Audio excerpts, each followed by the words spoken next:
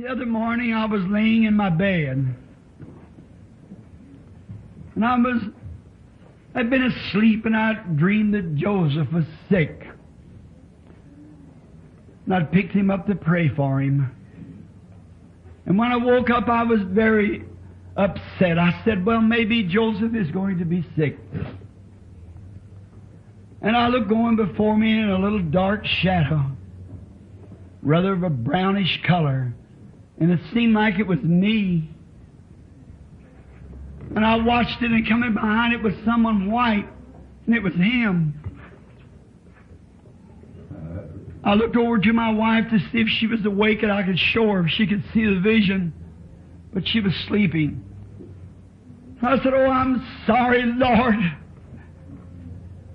But that's been my life. You've had to drive me to everything that I've done. Every time anything had happened, I'd think it was you doing it, and I realized it was Satan trying to keep me away from it. I said, if you could only leave me. And as I looked, I seen the prettiest face I ever saw on a man.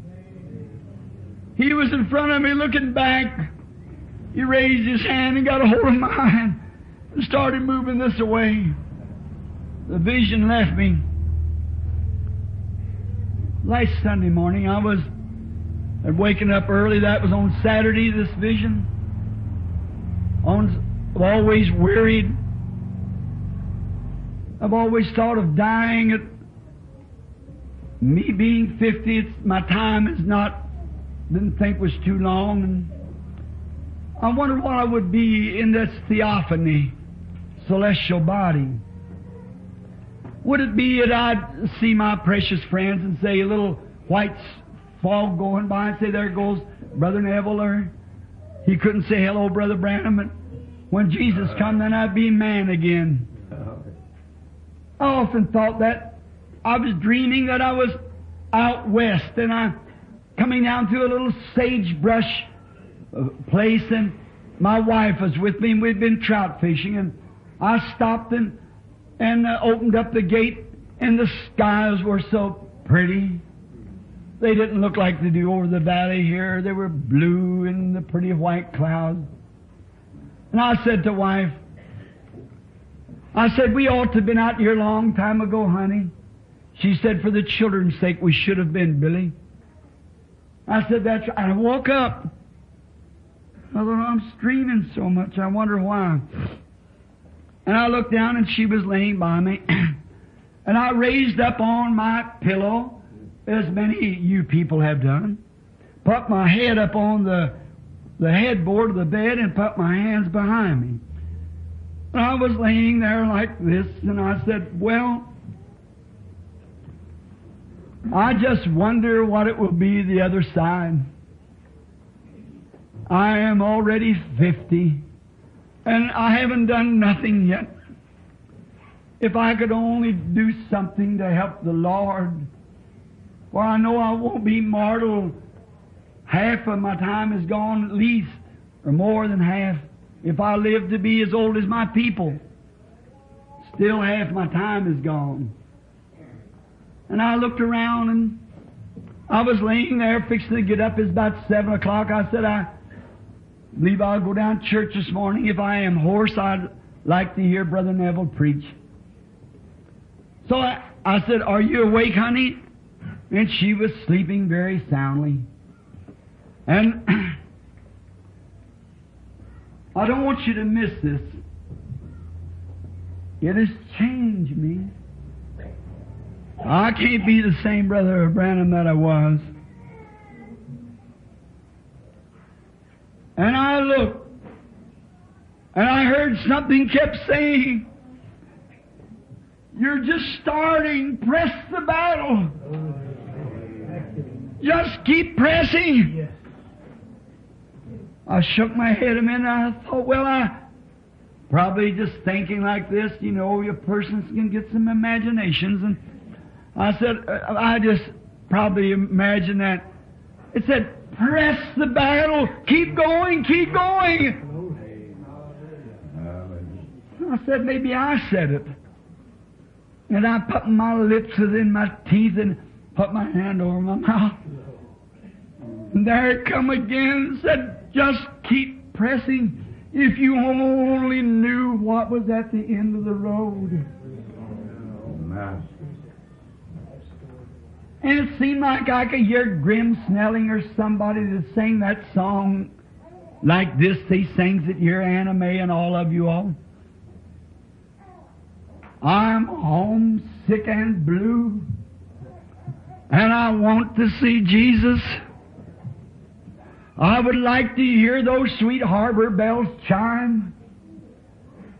It would brighten my path and would vanish all fears. Lord, let me look past the curtain of time. You've heard it sang here at the church.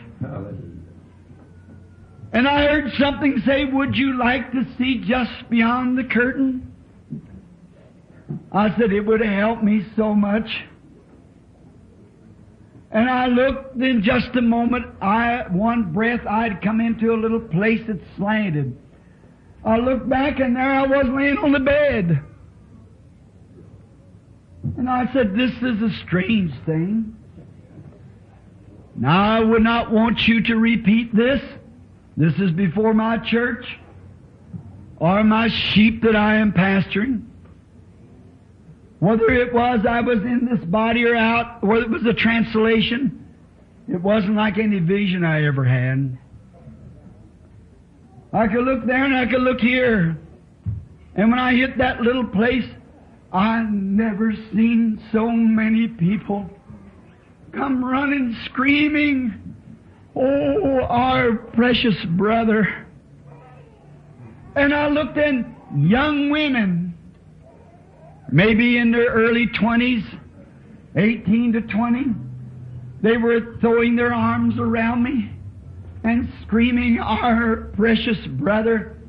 Here come young man in the brilliance of young manhood and their eyes glistening and looking like stars on a darkened night. Their teeth as white as pearl and they were screaming and grabbing me and screaming, Oh, our precious brother. And I stopped and I looked and I was young. I looked back at my old body laying there with my hands behind my head. I said, I don't understand this. And these young women throwing their arms around me. Now, I do realize this is the mixed audience. And I say this with the sweetness and with the mellowness of the Spirit. Man cannot put your arm around women without uh, a human sensation, but it wasn't there. There was no yesterday nor tomorrow. They didn't get tired. They were, I never seen such pretty women in all my life. They had hair way down to their waistline, long skirts to their feet, and they were just a hugging me. It wasn't a hug like even my own sister sitting there would hug me. They were not kissing me, and I was not kissing them. It was something that I I have not got the the vocabulary. I haven't got the words to say. Perfection wouldn't touch it. Suburb wouldn't even touch it nowhere. It was something that I never, you just have to be there. And I looked this way and that way, and they were coming by the thousands. And I said, I, I don't understand this. I said, well, they, and here come hope. That was my first wife. She ran and never said my husband. She said my precious brother. And when she hugged me, there was another woman standing there that hugged me, and then Hope hugged this woman. And each one, and I thought, oh, this has to be something different. It, it can't be. There's something. Oh, would I ever want to go back to that old carcass again? I looked around there and I thought, what is this? And I looked real good, and I, I said, I, I can't understand this. But Hope seemed to be like uh, oh, a, a guest of honor. She was no different, but just like a guest of honor. And I heard a voice then that spoke to me that was in the room said, This is what you preach was the Holy Ghost. This is perfect love. And nothing can enter here without it. I am more determined than ever in my life that it takes perfect love to enter there. There was no jealousy. There was no tiredness. There was no death. Sickness could never end there. Mortality could, could never make you old. And um, they could not cry. It was just one joy, oh my precious brother. And they took me up and set me up on a great big high place. And I thought, I am not dreaming. I'm looking back at my, my body laying down on the bed. And they set me up there, and I said, Oh, I shouldn't sit up here. And here come women and men from both sides, just in the bloom of youth, screaming. And one woman was standing there, and she screamed, Oh, my precious brother. Oh, we are so happy to see you here. I said, I don't understand this. And then that voice that was speaking from above me said, You know, it is written in the Bible that the prophets were gathered with their people. And I said, Yes, I remember that in the scriptures. Said, But this is when you will gather with your people. Amen. I said, Then they'll be real. And I can feel them. Oh, yes. I said, But I, there's a million, there's not that many Branhams. And that boy said, They're not Branhams. Them's your converts. Amen. That's the ones that you've led to the Lord. And said some of them women there that you think is so beautiful were better than 90 years old when you led them to the Lord. No wonder they're screaming, our precious brother. And they screamed all at once that if you hadn't have went, we wouldn't be here. I looked around, I thought, well, I don't get it. I said, oh, where is Jesus? I want to see him so bad. They said, now he's just a little higher, right up that way. Said, someday he will come to you. He said, you were sent for a leader. And God will come, and when He does, He'll judge you according to what you taught them. First, whether they go in or not. We'll go in according to your teaching. I said, Oh, I'm so glad.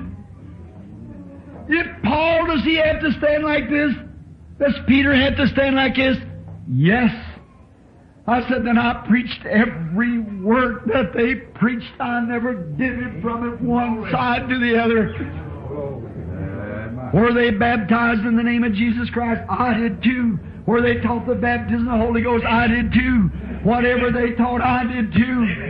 And then people screamed and said, We know that and we know we're going with you someday back to earth. Said, Jesus will come and you'll be judged according to the word that you preached us. And then, if you are accepted at that time, which you will be, and said, then you will present us to Him as your trophies of your ministry. Said, you will guide us to Him, and all together we'll go back to the earth to live forever. I said, do I have to return back now? Yes, but keep pressing on. Amen. I looked and I could see the people just as far as I could see, still coming, wanting to hug me, screaming, Our precious brother. Just then a voice said, All that you ever loved, and all that ever loved you, God has given you here. And I looked, and here come my old dog come walking up. Here come my horse and laid his head up over my shoulder, nickered. That all that you ever loved and all that ever loved you, God has given them into your hand through your ministry. And I felt myself move from that beautiful place. And I looked around. I said, Are you awake, honey? She's still asleep. And I thought, Oh, God. Oh, help me, oh, God. Never let me compromise with one word. Let me stay right straight on that word and preach it. I don't care what comes or goes, what anybody does, how many Sauls of sons of Kish rise, how many of this, that, or the other. Let me, Lord, press to that place.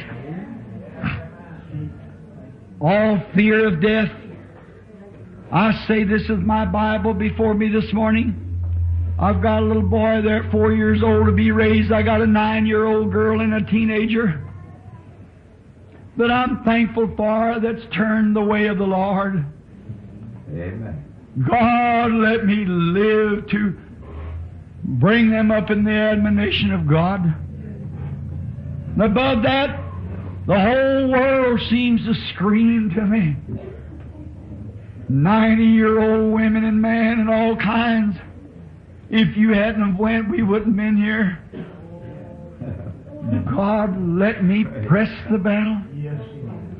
But if it comes to dying, I am no more. Uh, it would be a joy. It would be a pleasure to enter from this corruption and disgrace. If I could make up yonder 100 billion miles high, a square block, and that's perfect love. Each step this way it narrows until we get down to where we are now. It would be just merely a shadow of corruption.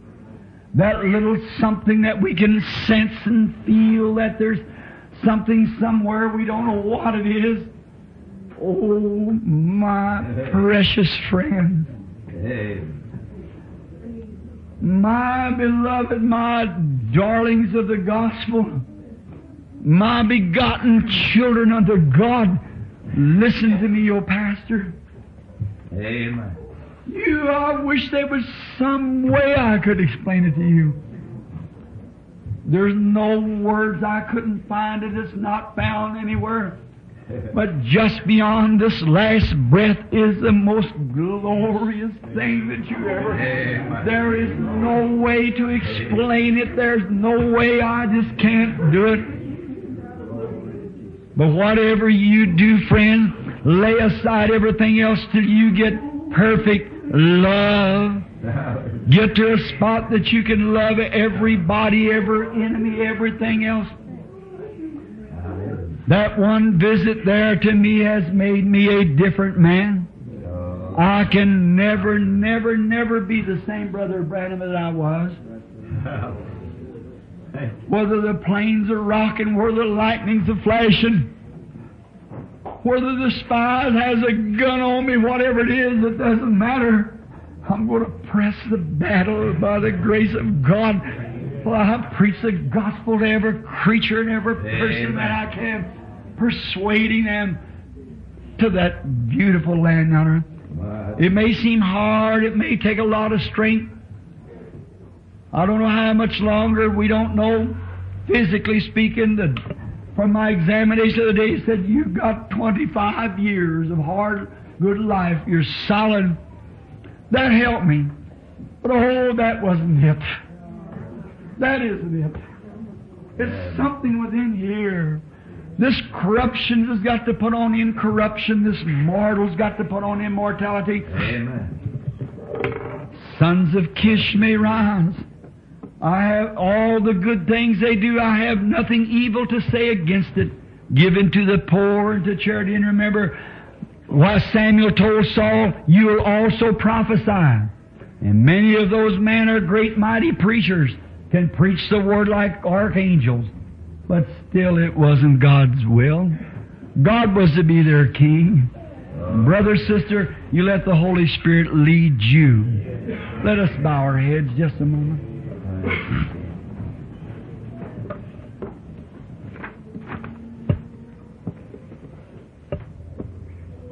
I'm so homesick and blue. I want to see Jesus. I would like to hear those sweet harbor bells chime. It would brighten my path and would vanish all fear. Lord, let us look past the curtain of time. Lord, let me look up past the curtain of sorrows and fear. yeah. Let me view that sunny, bright clime. Oh, amen. It would strengthen our faith and would vanish all fear. Thank you, Lord. Lord, let them look past the curtain of time. Hey. I am sure, Lord, if this little church this morning could just look past the curtain, not an affliction among them, there never could be, not a sickness, nothing but perfection. And it's just one breath between here and there. From old age to youth, from time to eternity, from a weary of tomorrow and a sorrow of yesterday till the present time of eternity in perfection. I pray, God, that you will bless every person here. If there be those here, Lord, who does not know you in that way of love. And truly, Father, nothing could enter that holy place without that type of love. The new birth, the being born again. The Holy Spirit, God, is love. And we know that that is true. No matter if we move mountains by our faith, if we did great things still without that there, we could never climb that great ladder yonder. But with that, it'll lift us beyond this earthly cares. I pray, Father, that you will bless the people here. And may that every person that has heard me this morning tell this truth. Yes, Father. That you be my witness, Lord. As Samuel of old, have I ever told them anything in your name but what was true? They are the judges. And I tell them now, Lord, that you've taken me to that land. Thou knowest that it's true. And now, Father, if there be some that doesn't know you, may this be the hour that they say, Lord, place within me the will. To be thy will. Grant it, Lord. Grant it, Father.